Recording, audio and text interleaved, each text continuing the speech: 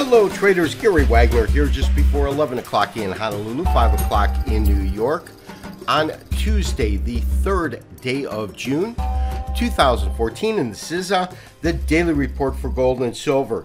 We have gold and silver up up nominally, but up nonetheless, which is a very, very pleasant surprise for today. It's been quite a while since we've seen this market move up. Trading at 1244.82 puts it up about a dollar and a half on the day. Now the low is 1239.40, and remember, 39 is that important number. That was one of the numbers that we were looking at. The high on the day, 1248. Silver is trading up roughly a nickel. More on silver towards the end of the show. We're looking at a 60 minute chart, and what I am seeing in this chart is after the dramatic sell off that we've witnessed, we have a series of lows that we can really illustrate as some sort of a floor, at least temporarily within the gold market itself. You can see standard candlestick chart, very, very short term. It's only a 60 minute chart. But what we can see in this chart is at least for the time being some sort of a base or a floor being formed within the market itself because when we look at the short-term chart we can see here's we we still continue to fall little rise we continue to fall but as of the beginning of this month, of course, what we've seen is is really somewhat of a floor in this market. Whether or not that's going to hold is going to be determined, but we are getting close to some of the numbers we're looking at and of course, once we compress this chart to allow for more time, we can really visually see what we were talking about. we we had a base that was roughly uh, support level at around 1275, roughly in that area. We had a couple of lows that came in, but in each occasion it held. Then the market really trended higher, and really the, the floor that we had at that point was just below, call it 1290, 1285. You can see that that's these series of lows here.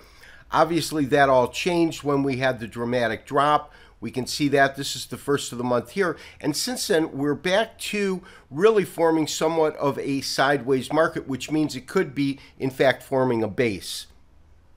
But once we start looking at any of the longer term charts, this is still an interim or short term chart, 360 minute, we can see that we are still in a very, very iffy or nebulous area at best because my sense right now is that once we broke through the 61% level, and that was uh, 1262, pretty critical area, the next real level of support on a technical basis has got to be about 1232. First of all, it's a Fibonacci based number. This last rally, 76% retracement. First thing that gives us a clue that this could be an important point. The second thing that gives us a clue is the fact that when we looked at this market coming up off of these lows, the beginning of this rally, it did it in a series of stair steps, quite obviously. So we had a, rise, retracement, a rise, retracement, rise, retracement. Now, as we can see right in here, we had a number of occasions where it came back down and tested that specific area before bouncing and then moving up. That's right in here. So this, to me, is really the number we want to look at.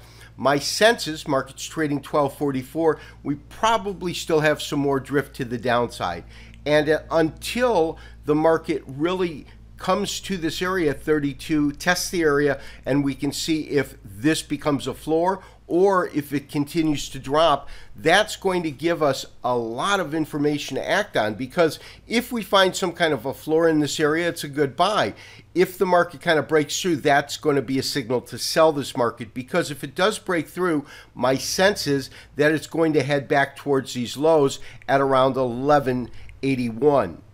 So we're roughly about what $10 away from that point in which we can determine is the market going to find some sort of support here or simply run through it. And as I said, if it runs through it, my sense my sense is that what we'll witness is a move to retest that double bottom that we have. So we've gone ahead and converted that chart into a nine day chart so we can have a much broader historical perspective. And on this study, I have two fib retracements. One very, very long term, starting really middle of 05, markets trading at about 400 an ounce up to the record top. And then the second one is the one that we have had, which is starting just under 700, moving up to that same spot. Interestingly enough, we get a very, very strong harmonics just below this double bottom. In other words, when we look at the entire move from 05 up, we get a 50% retracement, which comes in at 1156. And then when we look at the shorter term of the two, still a fairly long term fib retracement, we get 1157. And that's a 61% retracement. My sense is that if we break through this particular number, meaning our, we're currently at 44, if we break through 32, we're probably going to go and test these numbers and at the same time, if we test these numbers, this is really the area I believe we could see some very, very strong potential support in the market.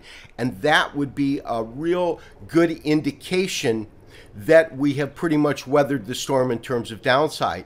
I personally don't think we're going to see silver go, excuse me, gold go back to a $1,000. That would be a 61% retracement of the largest of these two moves. And personally, at this point, with this double bottom in play, my sense is that it would have to break through that. And I personally think that there should be really good support in that area. So what about silver? We're looking at a daily chart. I've compressed it to the max that I can do on this particular chart. And we want to look at really the overall real support in the market where that's going to fall in when we look at this in terms of a, a, historical perspective, of course. Now, when I do that, we have this entire band right in here, this range. Let's go ahead and put a rectangle box in so we can kind of extend it forward. And when we look at the particular range, we've got these highs up here, which right now are matching to this band of support right in here if in fact we have entered into this area, you can see that we've had a trading, granted, not since 2010, but has traded in this range with these lows, as I said, roughly at around $18 per ounce. The low 18s were at 1878. If we go much past that, We've got this band that could take us, I believe we'll find support somewhere around the low $18 per ounce area, but we'll have to see how that unfolds. But we are in this area right now where we're back towards these lows, and each time we've gotten into these lows, the market has found some resilience, has bounced off of that.